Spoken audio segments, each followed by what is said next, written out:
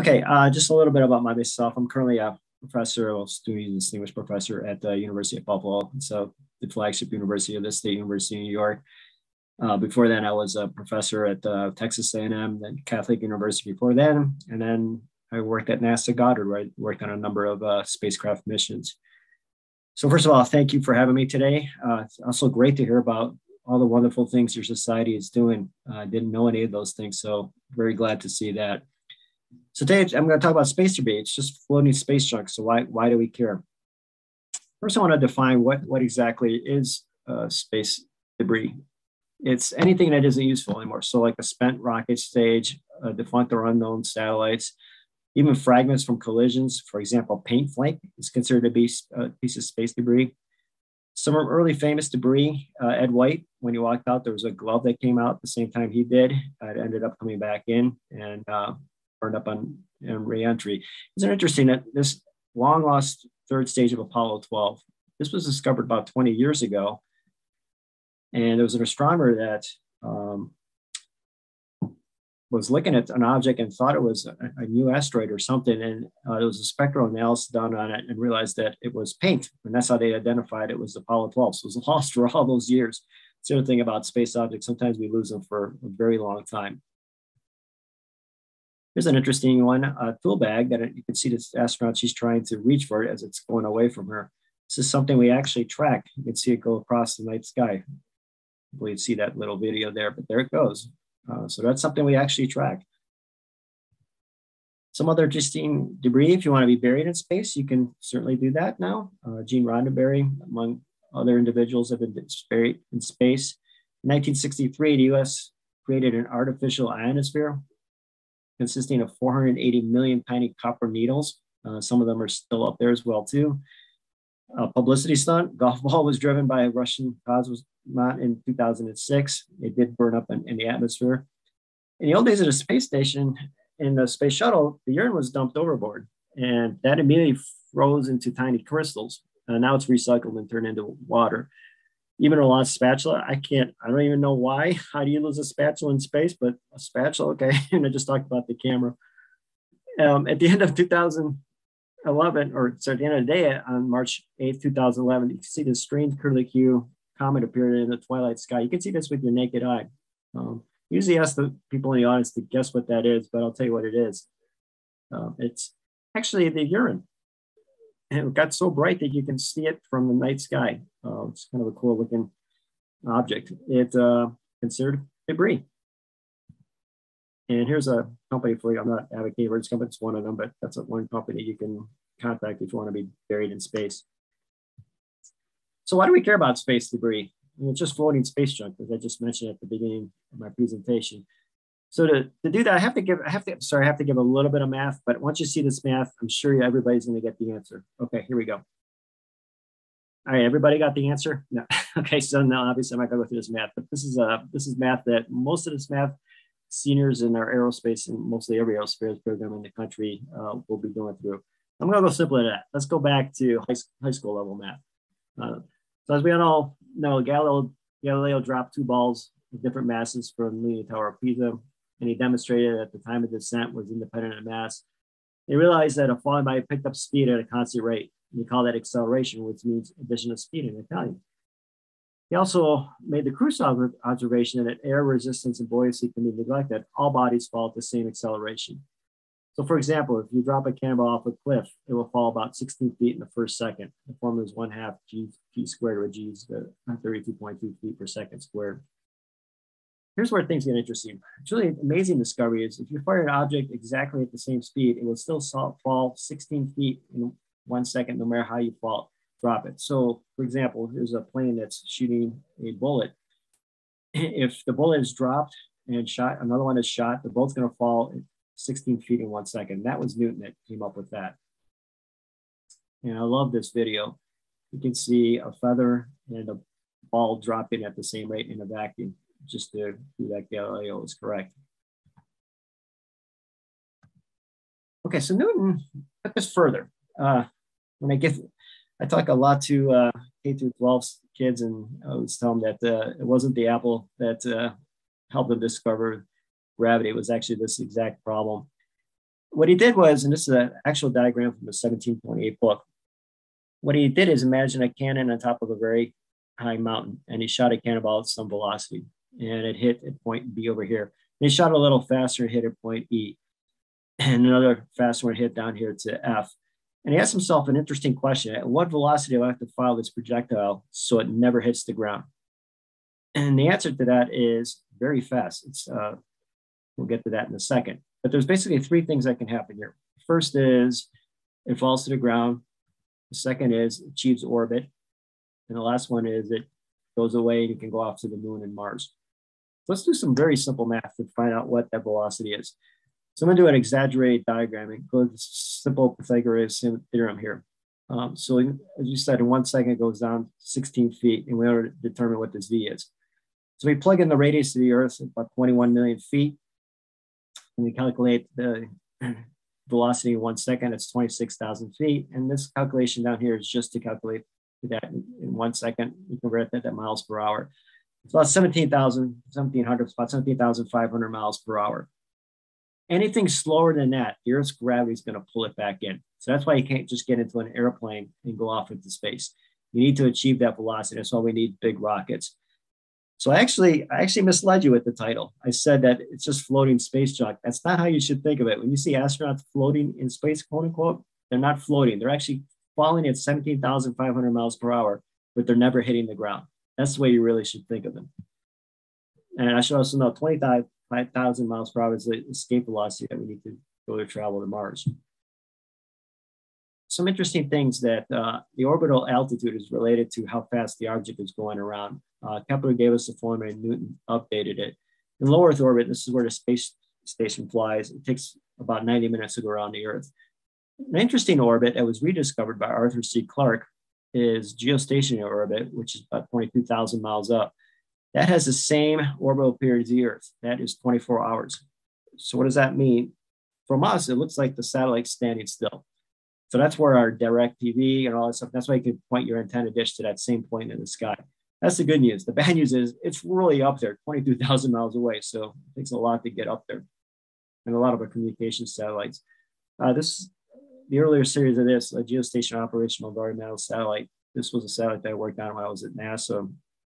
And some amazing imaging. Um, the accuracy of this is they wanted four kilometers in the ground. And to do that, it's 12 microradians. Um, I believe that's being able to read a 2020 from three football fields away. So that's just some incredible things. And it's done some great, uh, mostly every all the weather images you see come from there. You can see a nice hurricane here. Actually, uh, at the Goddard Auditorium, they had images from two GOES, one set on the East Coast and one on the West. And did the first stereo imaging of a hurricane. And we all got 3D glasses to see that. So the geo orbit is also starting to get a little crowded. Okay, so now we know stuff in orbit is traveling pretty fast. Um, so what? It's a big deal. Well, there's different kinds of orbits. I just described a few of them here. There's uh, one that goes around the equator, for example. And by the way, geostationary, that's where they that's where they all fly around the equator. You can also have stuff that goes around the poles. Uh, example of why polar orbit's useful. The first time they imaged Mars, they flew around the poles and took a swath image every time they went It was a brilliant design. The next time they went around, that swath that came with the next time was right next to the previous swath. And that's how they're able to image all of Mars. So there's various reasons why we put things in different orbits. Uh, Sirius XM has some in, interesting orbit associated with that. What it does allow is there's three satellites, but these orbits are designed such that at least one satellite would be over the US at one time. So at all times, sorry. So what that means um, that means that uh, we're not going to lose any of our satellite uh, in our Sirius XM. It's kind of cool. All right, so here's analogy. So again, stuff is going pretty fast, but if they're in the same orbit, like use the car lane analogy, you they're right next to each other or right behind each other, not a problem. But let's say I've got one in the equator and one that goes around the pole. And now I'm in the T-bone intersection case, and that can lead to a very violent collision. So imagine what a little marble can do to a satellite if it's colliding at 17,700 miles per hour. A lot of momentum. And there's many opportunities for a collision. This is a simulation I did uh, where two objects going to collide here in the equator. Come back here. like 45 degree in polar orbit is a dead end right they're going to collide. All right, so I can't talk about the good, bad, and the ugly. There is no good, so I have to talk about the not so bad, the bad, and the ugly. The not so bad impacts from debris that causes minor issues. Every time the space shuttle came down, they had to replace the windows. And here's uh, the windows just pitted by small little pieces of micro, micrometeorites or even um, pieces of debris. Here's a piece of debris that went through the dish of Hubble. Um, didn't cause anything major, um, but still went through it. Um, here's a panel that came down from Hubble, and every one of those arrows is pointing to a piece of debris that hit it. Uh, again, it didn't go through the satellite to cause any problems, but you can see the amount of stuff that hits it. The rise of mega constellations, uh, this is starting to become a problem. There's good and bad news. Obviously, having internet for everybody is very good news. Um, but we're looking at a lot, 12,000 satellites that are eventually going to be up there with uh, SpaceX, Starlink, and also Amazon's Kuiper, and, and there's also other satellites as well, as well too. Before these mega constellations, uh, the biggest one we really had was the Iridium communication satellites, which just totaled 70. Now we're going from 70 to thousands of objects. Um, we're still, we just don't know the impact quite yet of what's going on. Some of the unforeseen stuff that's already been happening um, for astronomers it's causing light pollution.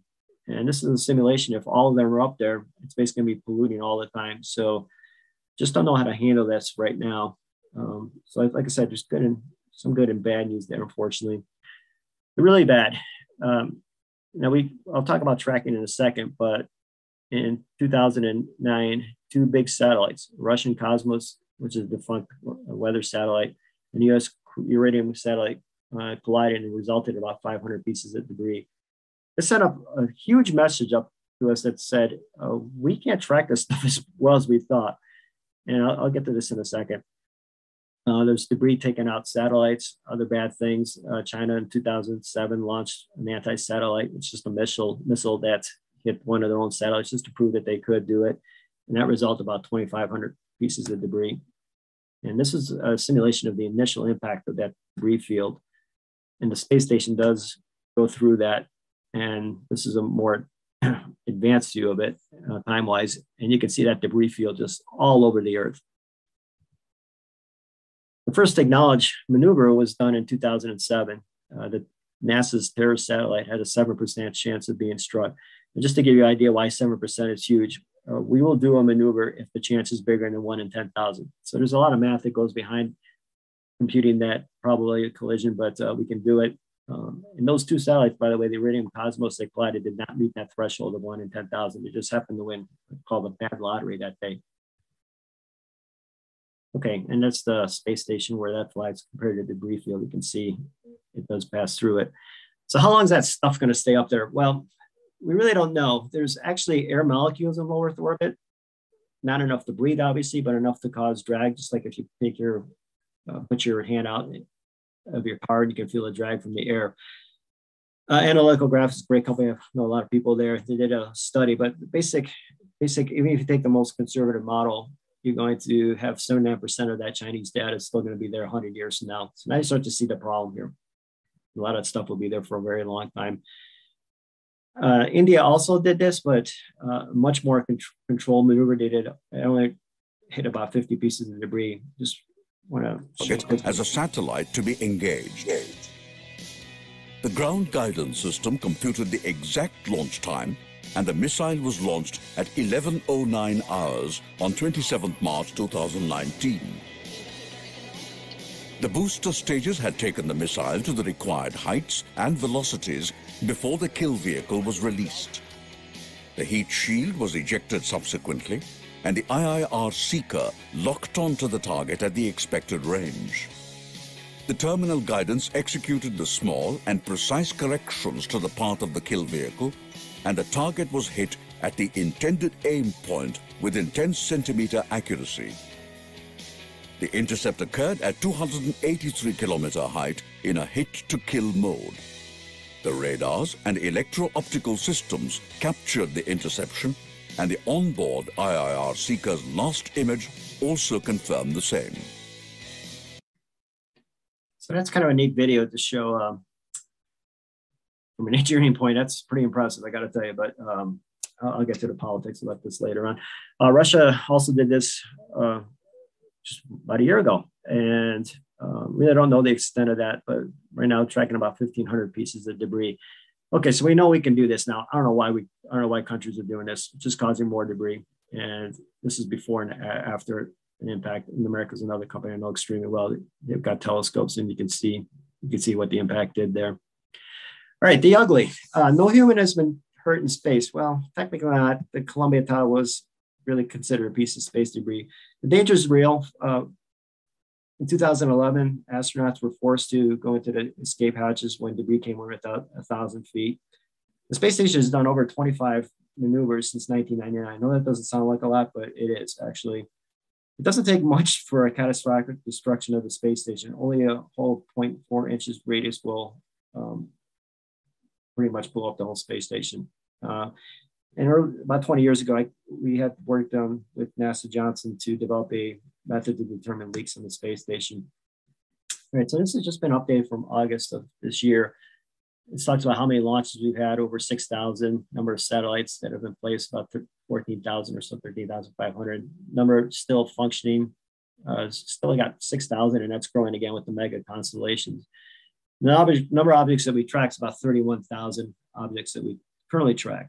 I want to talk a little bit more about that. Well, we can currently, currently tracks about anything bigger than a softball size, about four inches in diameter.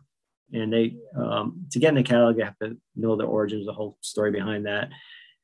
And this is just a, a chart, a classic chart showing uh, the amount of objects out there. But you can see this big spike in, in 2007. That's when the Chinese did their ASAT launch um, and 2,500 pieces of debris. And I can see that really big growth. And if we go into uh, further on, you're going to see that the launch of those mega constellations is going to grow it even further.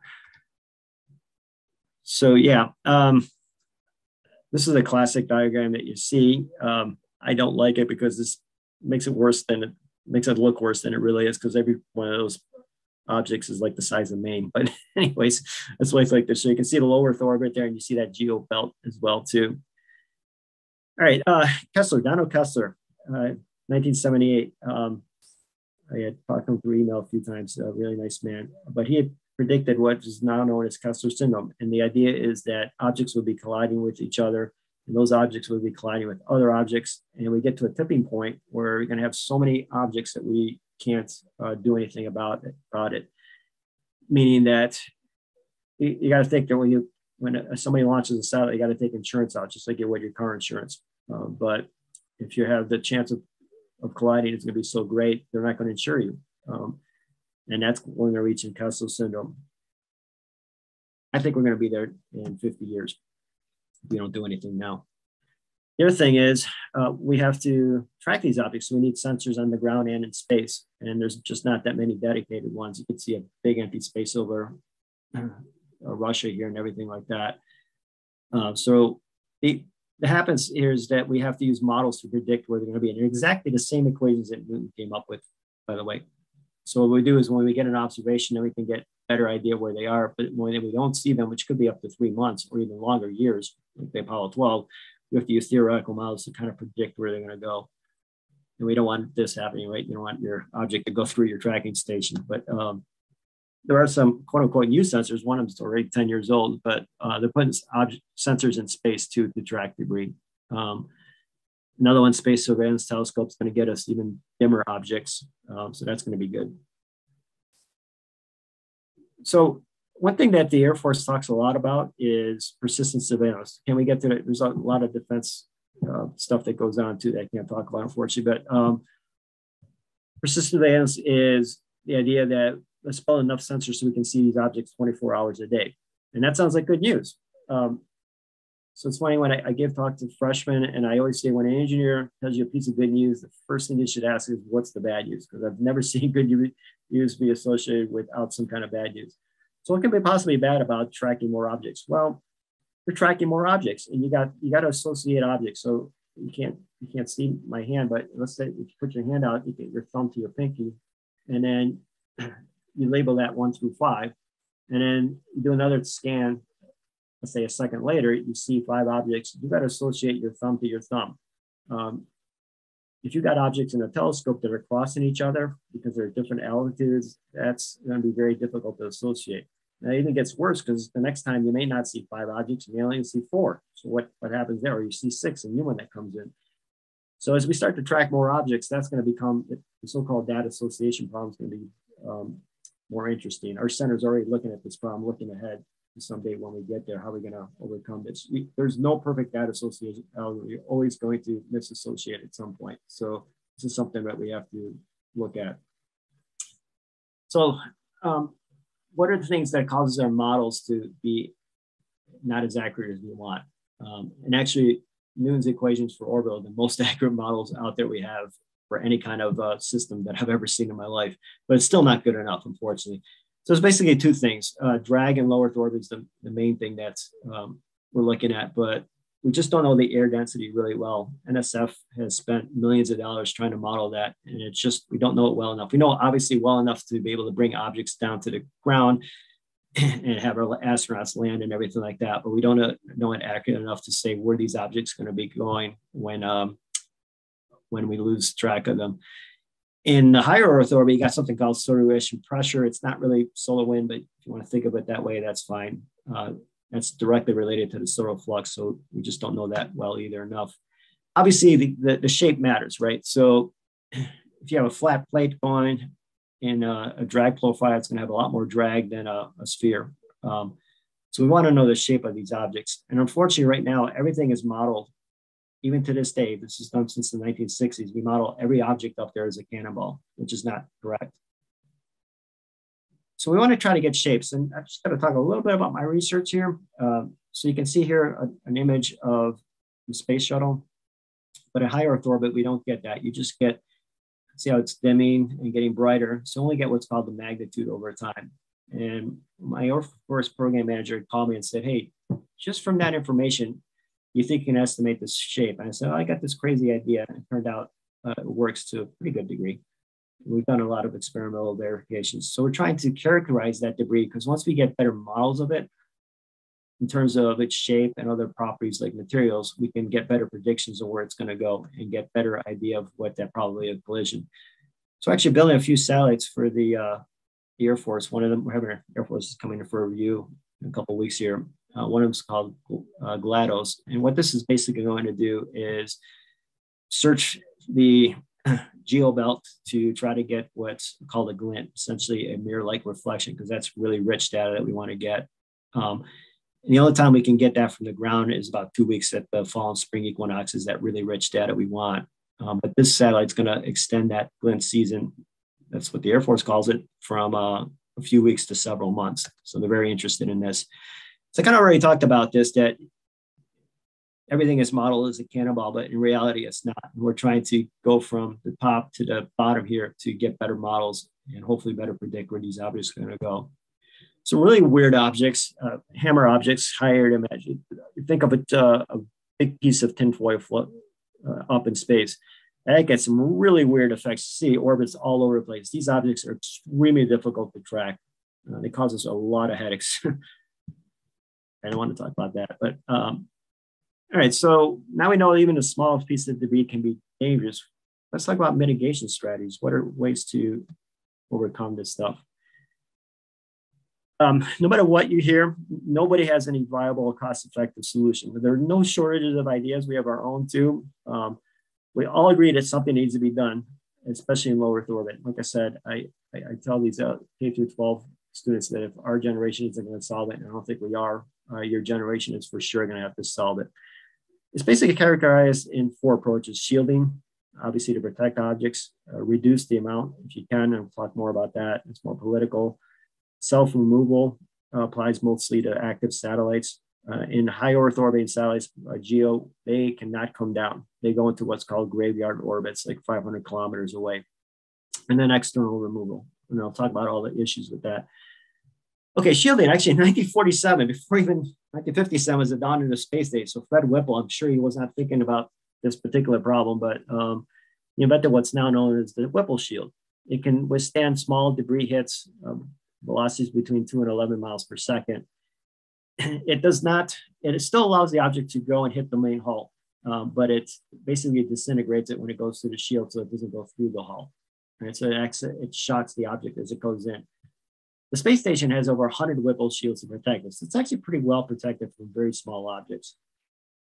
Uh, ATK wanted to take this to another level and make a huge Whipple shield in space. We cannot do this. Uh, this without controlling the structure, even build the structures. We don't have the technology to do this in space, but say we did that to control the structure. I did my dissertation on uh, vibration control of large flexible structures, which is exactly what this is. We just do not have the uh, capability to be able to control something like this. So it's a nice idea, but and then you got another big object there in space, probably not something you want to do.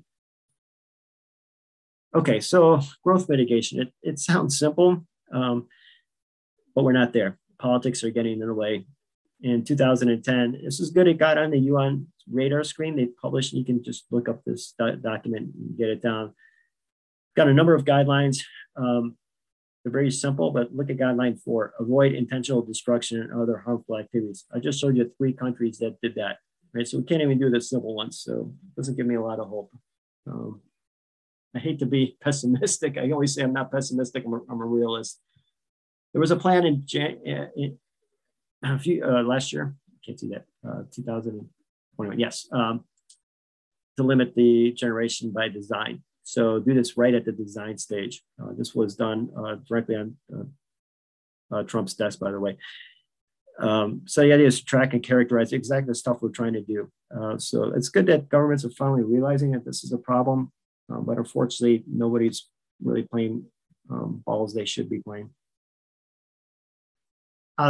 so controlled reentry, if that's possible. what we do with um, all of our active satellites and our, our friendly nations that we work with is that any satellite that has thrusting capabilities, meaning to uh, change its orbit, at the end of its life, we require it to do a controlled maneuver over the Pacific Ocean, specific area of the Pacific Ocean, because there's no humans around.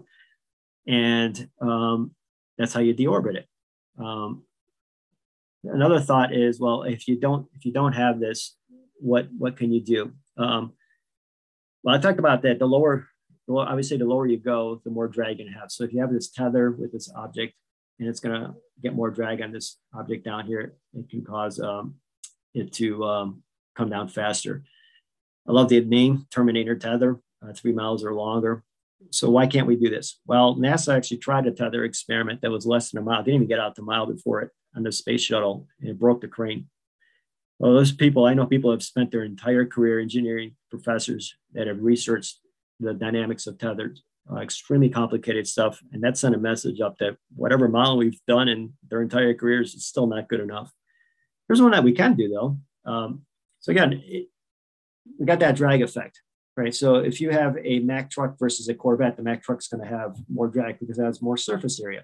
So why not increase the surface area? So that satellite I showed that we're building is about a shoebox size. It's not going to have thruster. But yeah, if you could blow up a balloon or a sail, increase the area, that's going to bring the object down. The requirement now is that we have to bring objects that don't have thrusting capabilities. We have to show through simulations that we can bring them down within 25 years. I think that's too long. I think we can get that down to actually less than five years just by requiring every side have this capability of either uh, balloon or a um, sail. Okay, um, I talked a little bit about this graveyard orbit um, a few hundred kilometers away. Um, and there's some problems there. We, we did uh, the most detailed simulation and looking 50 years ahead. Again, everything that was used to pick this graveyard orbit was done using a Cannonball model. We put a, a real type satellite, actually modeled the effect of the gravity of Jupiter, because that's going to affect it in 50 years. And our simulation showed that this is not good enough, that some of these objects could be coming back into the geo and potentially colliding with uh, active satellites. So we're trying to send a message that this orbit's got to go farther away. Again, that costs money because you need to get bigger thrusters and capabilities like that. Okay, so a lot of things I see about capturing debris and things like that are all neat technology. Um, here's one Astro's junk removal demonstration in 2021. Uh, two satellites that were initially held together using a magnetic system. The CubeSat was uh, released and then recaptured this is all great. Uh, advanced common evolved stage uh, design higher left leftover propellant margins uh, and have in, in-space refueling capabilities as well too. They're all great, but um, go on a little bit here. But here's here's an idea where the various stages of what they're doing here. Uh, so they did this, uh, uh, the stage right here completed where they released and did a test capture. Now they want to do it when it's tumbling. And I'll talk about the problem with that and then various phases to get to what's more realistic. I'm going to talk about these problems in a second. A neat one is the laser broom. Uh, it was actually started under the uh, Star Wars program from Reagan in the 80s. And the idea is to get medium powered ground lasers to nudge debris off course. Now, I'm not talking big pieces of debris, I'm talking the very small stuff. The 2011 study showed that you could alter the velocity by about uh, one millimeter per second. But you can keep it on for a few hours a day and alter its course by several hundred meters per day. And eventually it can come down. Okay, it's great, but you got to be able to hit that object. That's going to be very tough to do. And also, you're sending lasers up in space. The FAA not like that. So that's a no go. Uh, I'm a huge Star Trek fan. I actually did an interview with William Shatner a couple years ago. It's great uh, talking about space debris, uh, the Doomsday Machine. Yeah, um, that's actually something that we're kind of looking at is to, and others are looking at this too, but we're doing it differently. Is to essentially have an oven in space where you can cook the space debris in and make that into fuel. Uh, and I'll talk about why that's a problem uh, later on. So there's also this, this other thing called the satellite servicing bulldog, inspection, refueling, uh, robotics, uh, launch a satellite rendezvous with large debris. Uh, here's a little animation.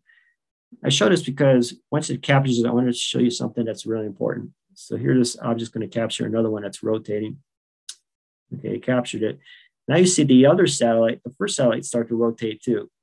And that's a problem because this is not rotating that much. Any of the dynamics from this satellite is going to be transferred to that. So you can cause your satellite to go unstable. And that's a problem, obviously. You don't want that to happen because you might end up with some issues.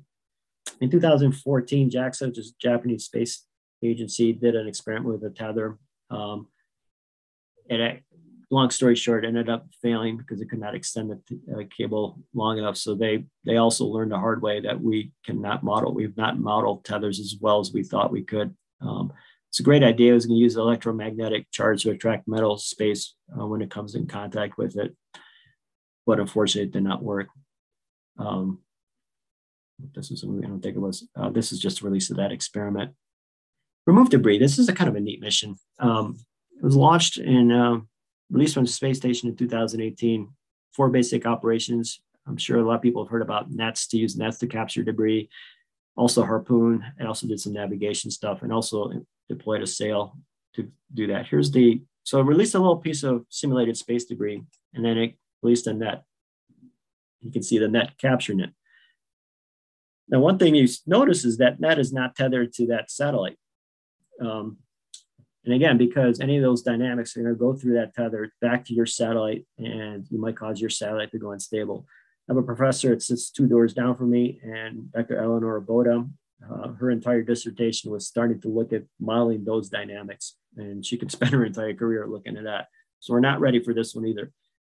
And the next one is the harpoon. I'm not a fan of this one. It worked, but I don't know why people would on a harpoon a space object because if you don't go through it, it's going to shoot it off into another orbit. It's the last thing we want to do.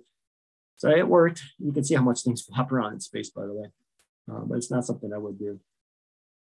Okay, so I want to spend uh, remaining time talking about uh, why it's tough to remove debris right now. So I live in Buffalo, and oh, by the way, I only got three inches of snow. I live in a kind region between Lake Erie and Lake Ontario, uh, 20 miles south of me, where the stadium is. They got uh, four feet of snow. But I live in Buffalo. I can get uh, into my car, drive to DC on one tank of gas, and then I can pick up some more gas there and go down to maybe the Carolinas and get more gas and go down to Florida if I wanted to. You can't do this easily in space. And the classic saying, which I've shown a little bit, I'll show this in a little bit, but you can't get around in space like that. It's not that easy to do. Uh, so let's say I, I, I, grab a piece of space debris, and the other issue is what do you do when you grab it? push it back to earth you know the other idea okay maybe that will work um, but if you push it away from the earth then your object's going to move away too right um, conservation of momentum things like that um, so you get to a point A, take whatever you do. Let's say you get rid of that piece of space debris. Now you want to get to point B. So let's say you just want to do a 10 degree change to get to point B to reach another piece of debris or a satellite. And they're both at the same altitude. That requires about 40% of your fuel. fuel. Yikes, that's a problem. it's a lot of fuel just to go from point A to point B. Just to give you an example, going from low Earth orbit to that geo orbit, so about 220 miles to order magnitude bigger, 22,000 miles. That requires about 80% of fuel, but you did a lot. you increase your altitude a lot. So that's great. Um, but the problem is, okay, so I go, even if I can do something with that piece of space area, which I can't right now, I go and um, want to go to another area. That's going to cost me a lot of fuel. Okay, I can maybe do that, but that's about it. So you're going to see you see a lot of stuff in the news about this and it's all great. I, I, like it because it showcases the problem and it's something we need to showcase. But is it a feasible solution? No because you're just not it's not worth building a multi-billion dollar satellite to only grab a few pieces of space debris. So classic saying is so unfortunately that technology and money doesn't exist. The classic saying is that you're fighting kepler and newton and you will lose every time. So we have to overcome this. Um, so like I said, a lot of great experiments, no shortage of ideas, um, nothing feasible right now. And what we're doing is ma mainly focusing on what we can do well right now. And that is to be able to better track these objects. And that's why I'm looking to characterize objects and understand what they look like and get better models. That's like something we can do today. So um, main points here. Yeah, space debris, not really floating objects. They're going at 17,500 miles per hour and just never hitting the ground. Very, very fast velocities. Impacts have occurred. Occurred. There's some that we don't. A lot of them we don't even know about. So uh, that's Kessler's syndrome coming true. That objects are colliding that we don't even can see because they're less than, than 10 centimeters. It's estimated there is anywhere between um, 100,000 to 900,000 objects between one centimeter and 10, 10 centimeters. That's the stuff that keeps me up at night because astronauts are very vulnerable. Uh, a lot of people ask me, and I haven't looked at the Q&A, uh, what is it going to take? And I, I always say, well, unfortunately, it's going to take something really bad, an astronaut being hurt in space before we really take this seriously. Uh, the counter argument is that space is big um, and nothing, there hasn't been that many collisions. And I agree with that. Um, but we don't want to think like that because we're just pawning this off like we do a lot of things. We're just pawning this off on our children. We all know that this is going to be a problem in 50 years if we don't do something. So we really should start doing something now. Uh, reducing collision from debris, uh, protecting humans in space is obviously the most vital thing. Uh, as I said, there's many ideas. Unfortunately, no silver bullet solution yet. A lot of research still needs to be done. For example, I talked about getting more data causes uh, data association problems. What's something that we absolutely can say right now, and we're still doing this, since the 1960s, the way we track cell satellites has stayed the same. We haven't changed the way that we've done that. Obviously, that's that that is not good. We need to get that done. Um, it just hasn't been enough funding to be able to do this. And I get it. There's other problems that we need to solve first, um, but we got to start thinking about this because we need to start tracking these objects better and basically us time so future generations can get that technology to get to the point we can actually start taking space debris out because we can't do it now. So that's the main message I always say. Buy us time, do some of those guidelines that are follow some of those guidelines that are given by the UN and do better tracking and don't create more space debris and get us time so we can get that technology to catch up. So with that, I'll be happy to take any questions. Thank you for having me today. Hello, okay, this is Eileen. Thank you very much for the discussion. One of the questions is Does space debris affect the atmosphere by Gwen? That's an interesting question. That's more of a science question. From what I understand, there are been studies on, on how things affect the atmosphere. Um, no, not much as of right now, but as more more stuff comes down, uh, there's still a lot. Of, the, the biggest issue with understanding that is we don't know the upper atmosphere very well in terms of as I, as I mentioned before. But no, I mean it's it's not it's not the Earth's huge, right? So having even the space station is going to come down eventually too. Um, that's not going to cause any really big issues that we're worried about. yeah, so it's, but I'm, I, I'm not really the definitive person to ask that question, to be honest with you. But thank you for the question. All right, another question is, can debris be ejected outside Earth gravity? Can debris be ejected outside of or take it past the low Earth um, for an or like take an orbit and send it out to the moon and Mars, for example? I think it's the question. Um, no, because you'd have again, if it's just debris that came off with an object, you'd have to affix a uh, thruster on it and have that thrust take it to that velocity of 25,000 miles per hour. So uh, it's something that's not easy to do. Um, the bad thing about the moon, which I didn't even get to, uh, there's some nice strategic points for both science and defense purposes called Lagrange points. Uh, James Webb is at one of them. I worked on the initial design of James Webb, by the way, um, back in the mid 90s. The um, there's space junk in, in, the moon right now. It's obviously not a lot, but I keep saying in, in 50 years, if we keep doing what we're doing here, we're going to bring our problems to the moon and make all those problems we have right now that we're thinking about now um, out in the moon. Um, and unfortunately, China's doing some some things out there in the moon too. So um, yeah, so you don't want to do that either. You don't want to put it out in the moon or or even Mars because someday we want to colonize Mars, right? Uh, so there's the only thing really best way to do it is to somehow remove it and get it back down or um, cook it, I guess, in a stove. Okay, another question is Are there alternative fuels?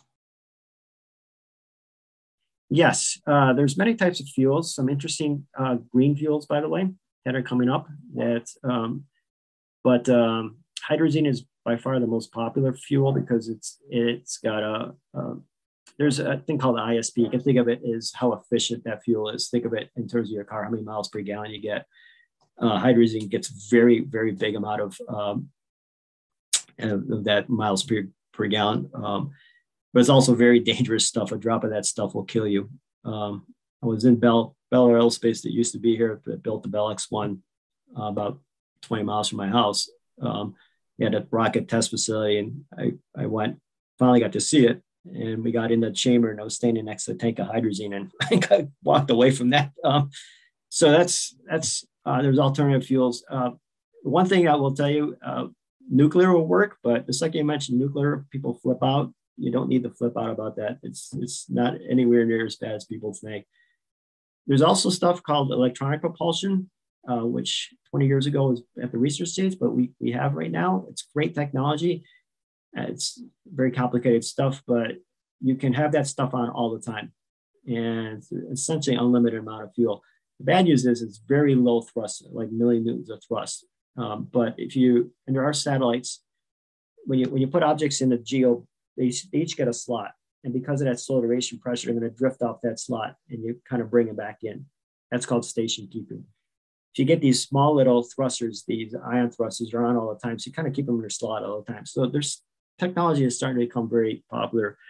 So yeah, if you stick that on a satellite and keep that on all the time, you can you can obviously deorbit that. Um, but we're not there yet. That technology is just starting to become popular on satellites. But there are alternative fuels, and each one of them has, as with everything I mentioned, there's good and bad news associated with with them too.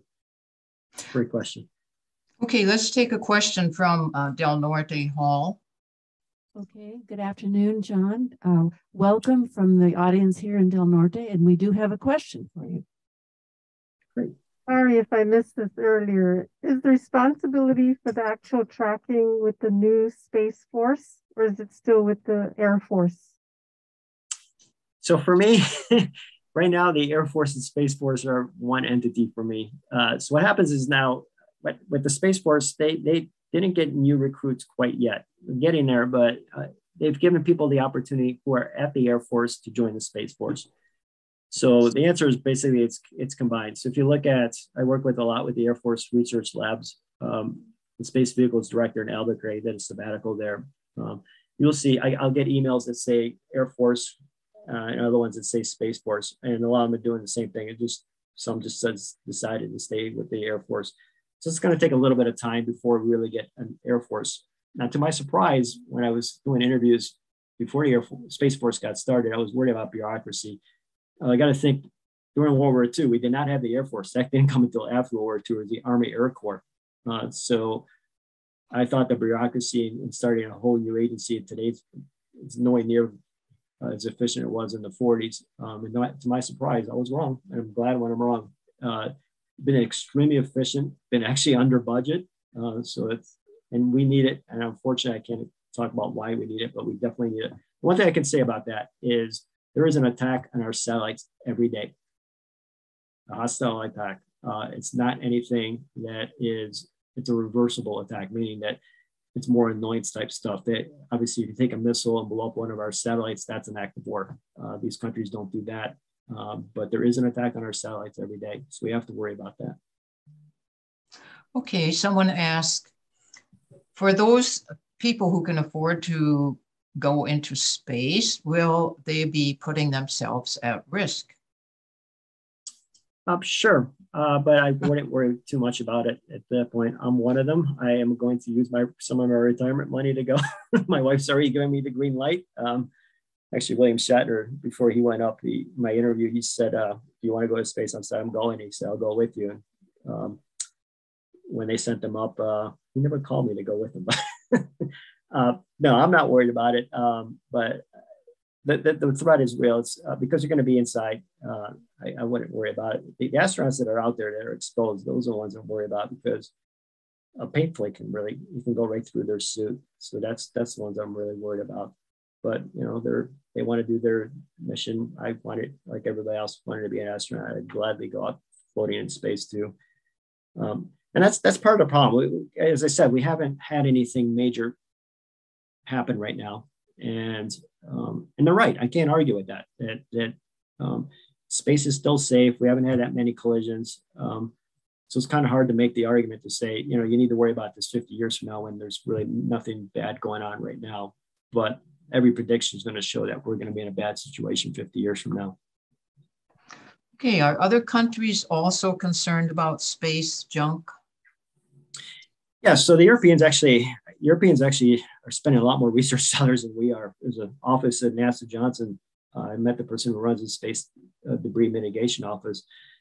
Uh, you know, NASA's budget is what, what 0.7, 0.8% of the federal budget. I always say, and I've worked, our center has worked for with every agency, you name it, we've worked with them. Uh, by far the most efficient agency. And I'm not saying this because I worked at NASA. I'm not saying this because I know the last administrators really well, uh, Dr. Mike Griffin, Dr. Chris Scolese. Um, and um, Major General Bolden, but um, I say this because they they just don't have the money to really waste. And unfortunately, the bad news is they don't have as much money to put their space debris uh, mitigation techniques. So Europeans are actually doing a better job than us. Um, somebody went, I did an interview one time and they asked me, what would my counterpart in China say? I, I said, well, my counterpart in China, he or she would say the exact same thing that this is a problem, but we're at the bottom of everything, right? I do do some things in in terms of political advocacy, but um, I got my research to do. So um, I always tell the, the, younger generation, don't think of this as just an engineering problem. Get involved, get into politics, get in these ears of, the, of your politicians to, to, hey, you're causing a problem that I'm gonna have to solve. So it's just, it's more than just an engineering aspects that need to be uh, looked at to solve this overall problem. Okay, another question is, are there any promising systems on the drawing board to collect space debris? Um, yeah, well, there's no shortage of ideas I mentioned, um, but uh, unfortunately, you know, even I think the most promising one is probably the oven idea, um, but it takes a long time to go from concept to reality. Uh, we're talking decades. We're not talking I got this idea in a year, I'm going to launch something. That just doesn't happen. We have to spend a lot of time make sure we get it right and make sure it's efficient and it works. Um, so even even the most promising idea, it's at least 10 to 20 years away before we actually even may do an experiment. That's great. And think of this as the DART mission that I love that mission. I know the engineers that designed that, that hit that asteroid and moved it a little bit.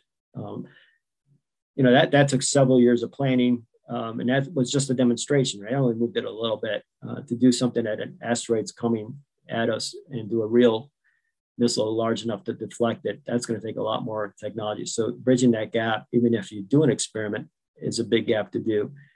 Uh, that's just unfortunately the reality of doing engineering, especially in space. You got to get it right, and you pretty much only get one shot. So, um, a lot of people tell me about being an engineer, and um, I keep saying my my world is pretty black and white. Either the satellite works or it doesn't. So. Uh, that's just the unfortunate reality. We have to build these satellites that I like to say, imagine driving your car a million miles and never servicing that thing. And that car is on 24 hours a day, 365 days a year, and has to work perfectly all the time. Well, that's what we do with satellites. And also has to work in a nasty environment. I'm here in the cold of Buffalo, get a much colder in space. It goes from cold to extreme heat um, within that 90 minute orbit. So that's a, and also you got radiation to deal with. So a lot of problems that we don't even have to worry about here. So your car is an easy problem compared to what we do in space. It takes time. So even the most promising solution is going to take us decades. Would it help if folks like Elon Musk, who are going into space, instead direct these funds towards managing space debris, etc.? Absolutely would help. Um, so I'm not a politician, uh, but I think one thing that should be done is uh, have a little tax on every satellite that's launched and use that as a global fund and this, of course, requires international cooperation, which we probably not going to have. I'm really dreaming here, but I like to dream.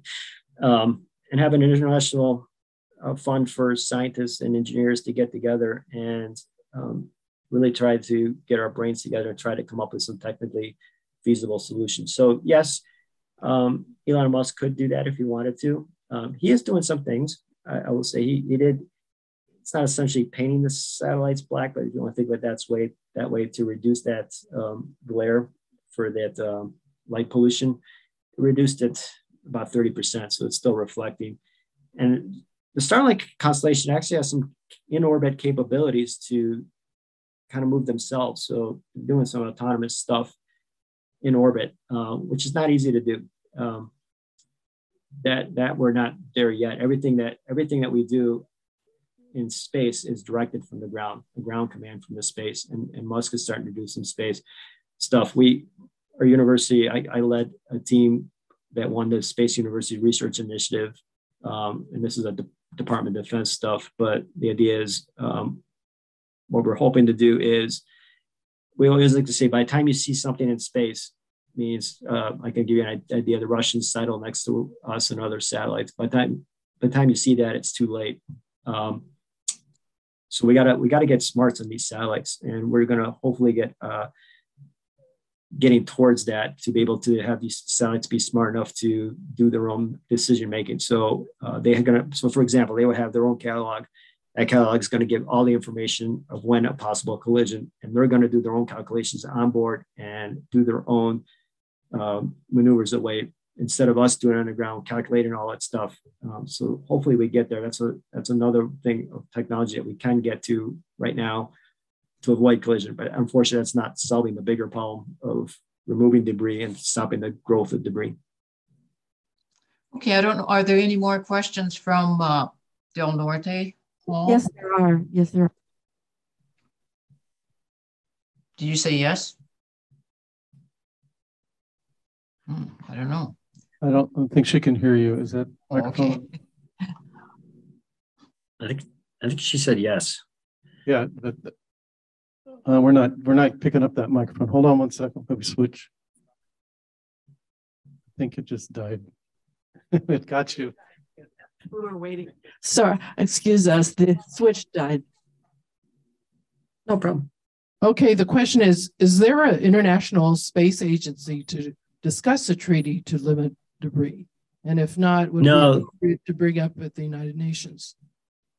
Right. Uh, that's one thing I did. I forgot to mention. Sorry. Thank you for bringing it up. Uh, there are no international treaties. There are no international um, space agencies like that. Um, and like I said, the good news is it did get on UN's radar screen, but those are just guidelines. They're not rules. Nobody has to follow them. That's that's the unfortunate thing. So yeah, this has to be political. It has to be political will.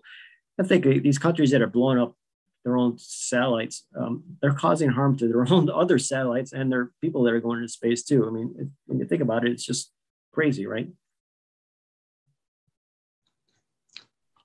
All right, I, I have one last question on my listing here.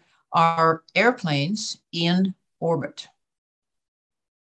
No, uh, technically not, but the, the space day, space shuttle is considered sometimes an airplane. Uh, I think the way they say it, when it came back down, it was considered an airplane. But uh, no, you, you can't. You need to get that velocity of 17,500 miles per hour, right? So that's why you can't just get an airplane and go into space because an airplane can't reach that velocity. That's why we need those big rockets. So that's uh, so a lot of talk now has been on hypersonics because our, our enemies are doing hypersonic tests and um, to build a hypersonic vehicle to reach that velocity. Um, big problems. You got a lot of heat to, that you're going to be building up. Um, actually, here at, in Buffalo, we have the premier hypersonics tunnel of the world. Um, it was built during the old Cornell Aeronautical Labs. It's a huge tunnel. It's right across the street from the airport. Uh, so they do a whole bunch of hypersonic testing on how those materials will uh, burn up or hopefully survive in extreme heat environments at those huge velocities. So we're trying to get that technology to be able to launch something um, as an airplane and act like an airplane and come back down as an airplane. But the big key there is we got to get that at Mach, Mach 23, which is very fast. Thank you, John. Thank um, you. Back to you, Jeff. Are you closing us out? I am here to thank you for this fascinating and sobering presentation. The Renaissance Society is making you an honorary member. We will also make a monetary donation to the Seth Nelson Student Emergency Grant Fund. Oh, thank you. I appreciate it. Oh, thank you for coming on. Uh, this here's a reminder. All forum presentations are recorded and archived.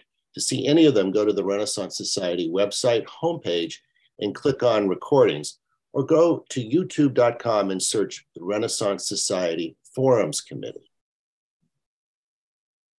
Next week, we're not having uh, the forum uh, because of Thanksgiving. But the following week, we are having State Senator Ben Allen talking to us, who is just reelected, uh, uh, about environmental legislation. He's one of the champions of environmental legislation in the California legislature. So I'm really looking forward to hearing him talk. Thank you so much for coming.